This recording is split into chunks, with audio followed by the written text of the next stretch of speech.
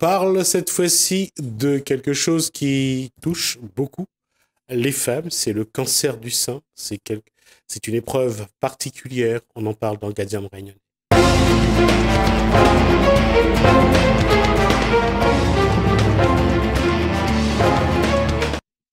Marie-Claude Barbin, bonsoir. Bonsoir. Alors, sur la fiche, il est marqué cancer, sommes-nous sommes des cobayes? Pourquoi? Parce que j'ai eu une petite tumeur euh, en 2013 et c'était de minuscule, c'était une tumeur euh, entre deux mammots. Euh, et donc, j'ai, on a déclenché l'artillerie lourde et aujourd'hui, j'ai des séquelles. Et c'est Alors, quand on parle d'artillerie lourde, bien sûr, on parle de chimiothérapie, on parle de radiothérapie, je suppose. J'ai échappé à la chimiothérapie en raison de la, de la grosseur de la tumeur. En fait, la, tumeur était de l'ordre de millimètres hein, et ils se sont acharnés dessus. Et du coup, aujourd'hui, ben, j'ai un bras euh, qui est pratiquement paralysé parce qu'on m'a enlevé 11 ganglions. Mais le problème, c'est qu'au départ, le chirurgien, quand il vous annonce ça, c'est une froideur chirurgicale. Quoi. Il n'est pas là que ça. Euh. Je crois qu'il faut. Enfin, je ne vais pas défendre le corps médical parce que ce n'est pas mon, de mon fait et puis ce n'est pas non plus mon rôle. Mais je crois qu'il faut aussi que le patient finisse par comprendre aussi que le médecin est un, un technicien et que les malades, les malades et les maladies défilent. Et qu'avec le temps, il apprend à se protéger et qu'avec le temps, il finit aussi par, par ne plus montrer ce qu'il ressent. Parce qu'avec le temps, il faut aussi qu'il se protège. J'entends bien, mais ce sont des parfaits techniciens. Ah, ça, c'est sûr. Mais l'empathie, quand même, je veux dire que dans un service d'oncologie, je n'ai pas rencontré. J'ai eu l'impression que j'étais un numéro de dossier. Et que quand ils me recevaient, ils avaient les yeux rivés sur l'ordinateur. Et de temps en temps, ils, examinaient mon sein. Et puis des fois, non, j'ouvrais le, voilà, je vous montre. et puis c'était, horrible, quoi. Et puis il y a eu toute une, dans le système de soins, il y a eu plein de couacs, plein de, d'erreurs. Et aujourd'hui, avec le recul, je me suis dit qu'une tumeur prend des années pour grossir. Si c'était de l'ordre du centimètre, je me suis dit, OK, c'est bon, euh, bon, ben, de l'artillerie lourde. Ce sont les biopsies déjà qui m'ont. La deuxième biopsie, là, après ça, ce fut le cauchemar, quoi. Alors, d'abord, une biopsie, on va juste dire que c'est bien sûr une, une, euh, analyse hein, qui est prélevée, euh, bien sûr, à l'intérieur du corps. La question, c'est est-ce que ça amène, parce qu'on parle de biopsie, parce qu'on dit toujours que les, les, résultats sont les plus précis à ce moment-là? C'était très précis? Il ben, faut croire que non, puisque j'en ai eu une, euh, ça s'est bien passé. Et c'était la deuxième au bout de dix jours que là, je pense qu'on aurait dû attendre parce qu'il se disait oui, peut-être qu'il y a un foyer à côté. De l'ordre de millimètres, vous vous rendez compte? C'est carrément une tête d'épingle. D'accord, ils ont anticipé. Ah, ils ont exploré à beaucoup. Et là, mon sein commençait à mal réagir. Et donc, le premier chirurgien, froid comme un bistouri, je dis non, je peux pas m'opérer. J'ai craqué dans son bureau. Il me dit, allez vous faire aider. Euh, oui, bien sûr, mais il y a une manière d'annoncer les choses quand même. Bon, ensuite, je suis allée voir un deuxième chirurgien. Lui, il prenait l'avion. Donc, il m'a opéré la veille de Noël quasiment. Et le sein était déjà, il y avait un hématome. D'accord. On aurait dû peut-être, avec le recul, je me suis dit, peut-être qu'on aurait dû attendre, il ne fallait pas s'affoler, quoi. Et là, les ennuis ont commencé. J'ai échappé à la chimiothérapie, mais j'ai eu 33 séances de radiothérapie préventive. Donc, je ne sais pas pourquoi. Euh, l'âge du Christ, pourquoi 33, pourquoi pas 45, pourquoi pas 24 D'être très ironique là-dessus. bah, disons que mon livre est très caustique.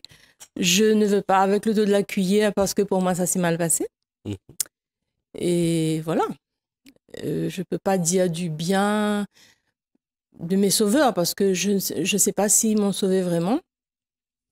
Parce que quand on m'a enlevé 11 ganglions, euh, c'est quand même euh, beaucoup, hein sans avoir fait d'examen préalable pour savoir si, euh, si les ganglions sentinelles étaient touchés. Donc on est parti à l'aveugle. Et aujourd'hui, j'ai le bras engourdi. En tout cas, aujourd'hui, c'est pas tant les, les interventions chirurgicales qui, c'est la manière de faire D'abord, c'est la manière de faire, et ensuite de laisser finalement le, patient, la patiente dans l'expectative à chaque fois.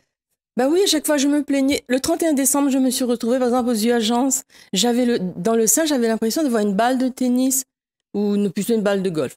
Et je suis allée aux urgences, je, trouve, je suis tombée sur un autre chirurgien, il m'a dit on va faire une ponction. Vous voyez, on vous explique pas. Ce qui manque, ce sont les infos. Moi, mes informations, je suis allée les chercher sur Google. C'est quoi une microbiopsie? C'est quoi une macrobiopsie? C'est quoi euh, la chimiothérapie, la radiothérapie et tout? Donc, ponction, il me dit, euh, je dis, mais il y a encore un peu de liquide dedans. Euh, une semaine après, je reviens le voir. Ne vous inquiétez pas, ça va se résorber. Ben non, avec 11 ganglions, la chaîne lymphatique, elle fonctionne plus. Donc, ben, du coup, le, sein est nécrosé aujourd'hui et douloureux. Et vous êtes retourné voir les médecins, ans je suppose? Alors, pour le chirurgien qui m'a opéré, il n'a pas assuré le service après-vente, je dirais. Parce que parce magnifique. Parce que il est parti en vacances, il est revenu. Après, il fallait prendre des rendez-vous euh, à chaque fois. C'était long, hein. C'était long pour avoir un rendez-vous, pour avoir le suivi médical. Et puis donc, je suis allée voir un autre chirurgien qui, lui, a été vraiment bien. Une autre gynécologue qui a été vraiment bien. Je ne savais pas au départ que c'était les gynécologues qui opéraient les tumeurs mammaires, par ah exemple. ben non. En fait, si. Et il y a plein de choses euh, sur le parcours de soins. Ils ont, il y a un PPS, ça s'appelle parcours personnalisé de soins. Et quand j'ai demandé à avoir mon PPS pour écrire mon livre, faut ne pas écrire de conneries, quoi, hein, parce que j'ai j'ai essayé aussi de, de m'appuyer sur les travaux de la recherche et tout. Et sur mon PPS, c'était écrit euh, un droit irradié. Oh, vous vous rendez compte si j'étais allée en métropole avec euh, voir un autre oncologue non, c'était pas le sein droit, c'était le sein gauche. Ah, ils sont trompés. Sans date de début ni de fin. Aujourd'hui, je ne sais pas du tout où j'en suis dans leurs statistiques. Ils m'ont jamais contacté. Tout ce que je sais, comme ils m'ont fait 33 séances de radiothérapie dites préventives, ils m'ont dit Madame Barbet, vous êtes guérie. Ben non, on n'est pas guérie, on est en rémission. Alors, on va expliquer la différence entre guérie et rémission. je ne sais pas. Alors, la rémission, ça veut dire que. vous n'êtes pas guéri encore, vous êtes surveillant. Vous êtes sous surveillance. Ça veut dire qu'il peut y avoir aussi un retour de la maladie. Une oui, une, récidive qu'on dit, qu'on appelle. Exactement. Et puis à la fin, mais non, mais c'est tellement incroyable ce que j'ai vécu. J'ai l'impression que j'étais dans, dans, le pays de l'absurdie, quoi. Tellement c'était. Euh, c'était tellement énorme, on n'expliquait rien du tout. Et puis on m'a dit voilà, maintenant vous allez prendre une hormonothérapie. Ben c'est quoi une hormonothérapie ben c'est justement un petit cachet qui paraît anodin pour bloquer le processus de euh, sécrétion des hormones. Mais en fait, il a des effets secondaires terribles. Quand, vous voyez le petit cachet, vous dites, pendant cinq ans, un par jour, il coûte cher la sécurité sociale. Donc, vous prenez ce petit cachet et puis au bout de quelques jours, vous voyez les effets secondaires, quoi. La fatigue, les douleurs articulaires atroces, la montée de tension, euh, la fatigue surtout. Et je, suis allée voir une gynéco. Elle m'a dit c'est le traitement de trop. Bon, je sais que ceux qui écoutent vont bondir en disant oui, il faut suivre le traitement et patati et patata. Moi, j'ai arrêté, j'ai assumé, j'ai arrêté et puis je me suis rendu compte qu'avec le traitement ou sans traitement, s'il y a récidive, il y aura récidive. Donc je me suis dit qualité de vie. Bon, ok, peut-être que je vais mourir, euh, je ne sais pas quand, mais au moins j'aurai une qualité de vie plutôt bien qu'au lieu de me sentir mal avec ce maudit cachet pendant cinq ans. Je sais qu'il y a des, il y a des femmes qui arrêtent le traitement en cachette. Ben moi, je l'ai arrêté. J'ai dit à un radiothérapeute, il m'a dit, c'est vous qui voyez. il y en a qui ont essayé, ils ont eu des problèmes. Bon, donc j'ai arrêté. Quels ont été les effets? Ben bien, je suis, ça va mieux. Je fais du sport tous les jours. Heureusement, je fais du sport tous les jours. On va juste regarder le livre euh, et Ras le sein. On va le montrer. Donc, je, voilà, le livre est écrit donc par Marie-Claude de Perbin sur son, sa tumeur ou son cancer? Ben, Son cancer, puisque le titre. Euh, Sommes-nous des cobayes? La réponse, apparemment, vous l'avez déjà donnée. oui, heureusement qu'avec le recul, euh, j'ai bien fait d'écrire quoi pour exorciser tout ça, et je suis tombée sur une euh, sur une personne qui m'a aidé à écrire parce qu'elle est correctrice professionnelle. Et j'ai rencontré comme ça sur le net et on a collaboré à mon à ce livre-là et au dernier sur le viol. C'est elle qui recorrige toutes mes fautes, qui remet en, qui remet en, en page et tout. Cancer, sommes-nous des cobayes Pourquoi sommes-nous des cobayes ben, La question est ouverte. Là, c'est votre cas. Votre cas oui, mais j'ai participé aussi euh, à comment, au, au, système de contribution sur le site euh, du ministère de la Santé 2015, où justement chaque patient, chaque ou des professionnels pouvaient déposer leur contribution. Et j'ai vu que les femmes qui sont allées sur le site, moi j'ai posé la mienne aussi, et on réclamait surtout les mêmes choses, plus d'informations, euh, un petit guide d'empathie de la part des médecins. Il faut arrêter avec euh, culpabiliser. Oui, si vous ne faites pas dépister, vous allez mourir. Les fêtes, les flonflons, les ballons, les tout ça. Non, nous, on veut des infos. Quand, vous quand on vous envoie euh, une invitation pour aller faire une mammo, c'est comme si on vous envoie une invitation pour aller au cinéma. Donc, il n'y a pas de petits livres pédagogiques. Moi, je trouve qu'il manque, manque aussi des groupes de parole la médecine perd, de son humanité mais quand, quand j'ai fait le reportage euh, avec un, quotidien local, il y avait un médecin, je crois qu'elle était euh, présidente euh, d'une association de médecins, et elle disait à peu près la même chose que moi. Elle disait que les médecins, plus les médecins sont spécialisés, moins ils ont le temps. Il y a une étude là-dessus aussi. Moins ils ont le temps d'écouter les patients. Mais l'empathie, c'est inné, mais ça se travaille aussi, quoi. Je veux dire, en oncologie, ok, c'est bon, mais quand même, un geste, un regard, un mot. Mm. C'est tout ce qu'on demande. Ça, y a ça aide à guérir aussi. Ça, il n'y a plus. Ben, moi, j'ai pas rencontré, mais c'est vrai que je suis une personne hypersensible, bon, qui Combien de temps vous avez été hospitalisée? Ah, mais c'est rapide, c'est presque en ambulatoire. Hein. Ah, j'ai été opérée euh, la veille, le, le lendemain, j'étais dehors. Après, il y a eu les séquelles, les conséquences. Et là, il fallait trouver vraiment quelqu'un pour vous suivre. Ce genre de, dans, dans, ce genre d'opération, on sait que la chimiothérapie affaiblit le système immunitaire. comment on peut sortir comme ça après une, une, une opération aussi importante? Sortir le lendemain, le, le corps n'est pas, euh, n'est pas au mieux. Oui, mais c'était, bon, disons, l'intervention a dû durer six heures, mais c'était une toute petite tumeur. Mais moi, j'ai eu la chance de ne pas subir la chimio. De toute façon, j'aurais refusé parce que je sens, je connais mon corps, mes limites, moi. Hein. Mm. Et pour la radiothérapie, c'était juste quoi. Hein. À un moment donné, je me suis dit, j'ai l'impression que le morceau de sein, il va tomber par terre. Je dis, c'est plus possible, quoi. C'est trop. En plus, les appareils se déréglaient. Il y avait des bugs. j'ai été brûlée un petit peu en plus. C'était l'horreur, quoi. Et finalement, euh, c'est quand on est dedans, on découvre que finalement, la médecine, c'est une usine c'est une machinerie, que le corps humain n'est qu'un un produit à, soigner, à guérir et à rapporter de l'argent à la, médecine et au laboratoire pharmaceutique Je pense que sincèrement, oui. Et parce que les médecins, ils sont pas à l'écoute du tout de la patiente, parce que la patiente, elle est comme si elle est en option. C'est un numéro de dossier et ça en plus. Et c'est vrai que ce sont de brillants techniciens, hein en radiothérapie, j'ai rencontré des femmes, les manipulatrices, elles, elles étaient humaines, mais pas les médecins. Désolée, mais moi, c'est mon expérience. Hein. D'accord. Quand on parle de manipulatrices, on parle de ces personnes qui vous regardent vos radios, qui... qui vous mettent sur la table de la radiothérapie, qui vous bonjour, ça va bien, mais c'est important, quoi, je veux dire, quand, parce que vous y allez tous les jours. Vous allez en taxi, vous êtes fatigué, ensuite il faut attendre pour que l'ambulance ou le taxi vous ramène. Et ces personnes-là, je, je leur tire mon chapeau, parce que je trouve qu'elles ont été formidables, quoi. Un petit bonjour, qu'est-ce que ça coûte, comment ça va? Bonjour madame, vous allez bien aujourd'hui? C'est tout ce qu'on demande, nous. D'accord. Le médecin ne dit pas bonjour? Oui, bonjour, et puis asseyez-vous. C'est froid, vous distant. Pas, il vous regarde pas. Il vous regarde pas. Il y a pas un contact et j'ai rencontré d'autres patientes, moi, parce que j'écris sur les faits d'actualité et quand il y a quelque chose à dire, je le dis dans les médias. Mais j'ai rencontré aussi des femmes qui m'ont raconté, qui m'ont raconté leur calvaire, mais qui n'auront jamais le courage ou la possibilité de le dire dans un livre. Donc c'est aussi pour elles aussi. Qu'est-ce qui est le plus dur? C'est toutes les preuves qui amènent à, à soigner le sein Là, il n'y a pas eu d'ablation du sein? Non, il y a eu une tuméro... Tuméro...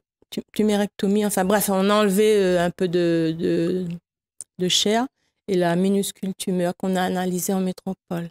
D'accord. Alors, la... là déjà, il n'y a pas à gérer l'après. C'est-à-dire, il y a à gérer l'après, mais c'est les effets euh, de la, des médicaments, les effets secondaires de, de l'opération. Ça, c'est à gérer.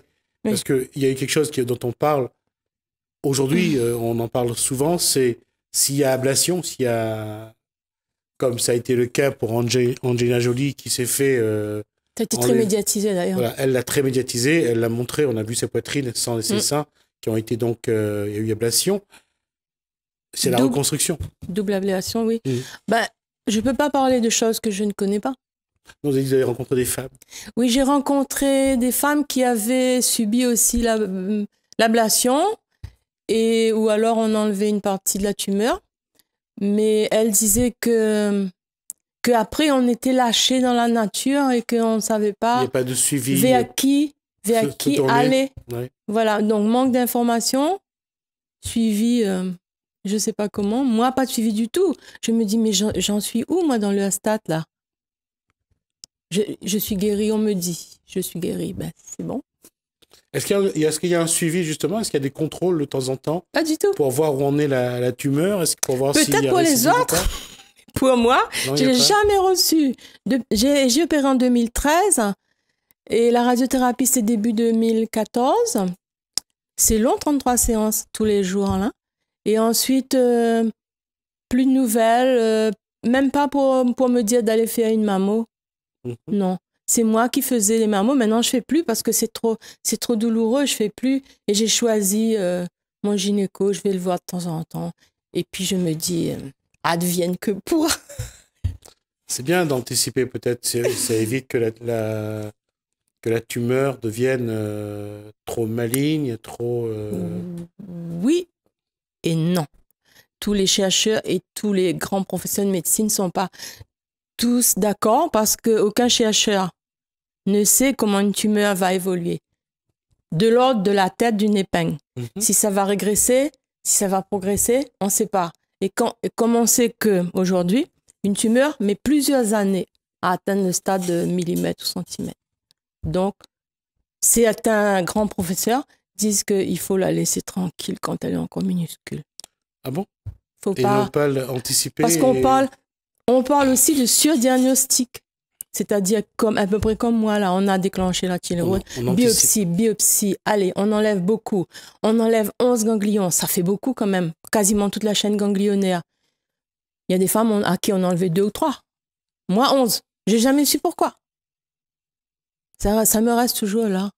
Oui. c'est malheureux de le dire, mais c'est bien à ce niveau-là.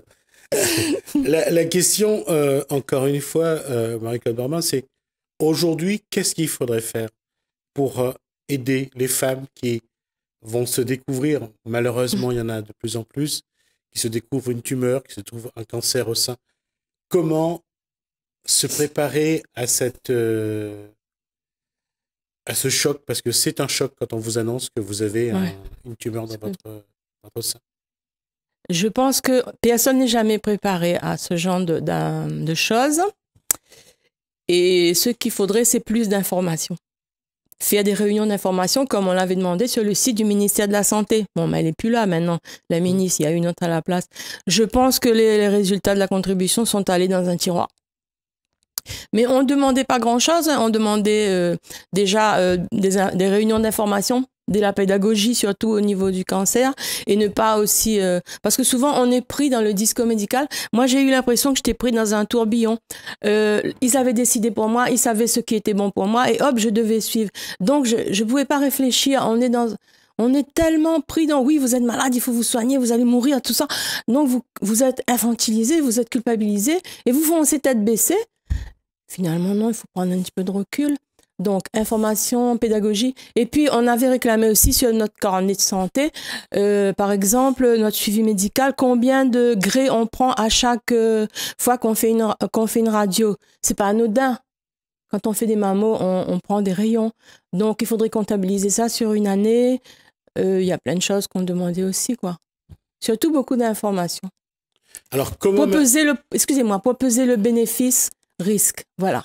Est-ce que aujourd'hui, ça veut dire que ça veut dire que la malade aujourd'hui doit se préparer à être seule, à ne pas être accompagnée à aller chercher elle-même ces, ces informations? Parce que la, son médecin ne lui n'a plus le temps, ne lui donne plus le, ne se donne plus le temps de lui expliquer les, c'est quoi la maladie, quelles sont les, mm. les hypothèses de développement, tout ça, ça ne se fait plus. Mais je ne sais pas ça ne se fait plus. Par exemple, nous, ce qu'on avait demandé euh, au niveau contribution, euh, que le médecin, que notre médecin de santé soit au centre du dispositif. Parce que moi, j'avais une, une médecin, elle m'a suivi tout au long de mon parcours, mais elle n'était pas très au top au niveau cancer du sein. Donc, une formation, une formation des, des, du personnel soignant pour qu'on soit plus encadré. Peut-être qu'il y a des personnes qui ont eu la chance d'être bien encadrées, euh, mais je pense que ça pêche beaucoup. Hein. Donc là, aujourd'hui, ce que vous avez besoin, c'est des informations. Ben, aujourd'hui, j'ai eu toutes mes informations parce que je suis allée sur Google. j'ai lu les travaux des grands professeurs de médecine et tout. Mais parce que moi, je me suis documentée personnellement. D'accord. Et dans cet ouvrage, Râler le sein, Marc Baba euh, dénonce surtout aujourd'hui l'absence de d'humanité, mm. l'absence d'empathie mm. des, des, médecins qui, euh, qui ne, ne, ne, donnent pas d'informations, qui n'essayent pas non plus d'accompagner le malade et d'avoir un mot gentil de temps en temps parce qu'en ce moment-là, la, la, malade a besoin d'entendre, d'avoir un peu d'affection. Oui, ça s'appelle l'alliance thérapeutique. Quand on a confiance en son médecin, quand on est bien informé, on guérit plus vite et ça coûte moins cher à la Sécu. D'accord. Donc ça, c'est un message aujourd'hui. Est-ce que, est-ce que, est-ce que c'est, euh, c'est une idée à, mettre en place, c'est-à-dire faire en sorte que ceux qui ont, celles qui ont, ont déjà connu cette, cette traversée, euh, cette épreuve à traverser, peuvent se dire, ben, c'est vous qui êtes mieux placé peut-être pour accompagner ceux qui, celles par exemple, pardon, qui vont, qui, euh, qui vont peut-être découvrir un jour qu'ils ont aussi une tumeur au, au sein. Oui, il faudrait que les gens puissent se réunir. Un peu, un peu, c'est vrai, ça manque. Bon, je sais qu'il y a une association qui fait beaucoup de bien aux malades, mais moi, ce que je leur demandais, c'était des groupes de parole dans chaque ville, un psychologue avec un personnel compétent, genre un psychologue je sais pas, une fois par mois au moins, dans chaque ville, faire des réunions comme ça d'information, qu'on leur explique euh, le déroulement des protocoles, parce que c'est pas anodin, et, les catastrophes après, euh, les séquelles lourdes, là, on vous explique pas du tout. Moi, quand on m'a donné l'hormonothérapie, on m'a pas dit, on m'a pas dit, voilà, il y aurait des effets secondaires. Bon, on me la trouve tout seul, mes effets secondaires. Bon, bah, parce que mon corps ne supportait pas. D'accord. Marie-Claude Barbin, donc Rat le sein, je rappelle donc son ouvrage qu'elle a écrit à l'issue de cette tumeur donc euh, au sein. Elle, a, elle demande aujourd'hui, à travers ce livre, elle demande surtout que, on, que les médecins, que le corps médical soit plus patient, soit plus et plus d'empathie, en tout cas envers les malades, surtout lorsqu'il y a les séances de radiothérapie, de chimiothérapie. Merci Marie-Claude Barbin. On arrive à la fin de cet euh, échange. On espère que elle sera entendue. On espère surtout que même si les médecins n'ont pas le temps d'avoir de d'affection et d'empathie pour les malades, que, ceux, que celles qui ont été malades puissent se regrouper et puis apporter au moins un soutien à celles qui vont en avoir besoin. Oui. Merci Marie-Claude Barbin. Merci à vous. Merci à vous de nous avoir suivis.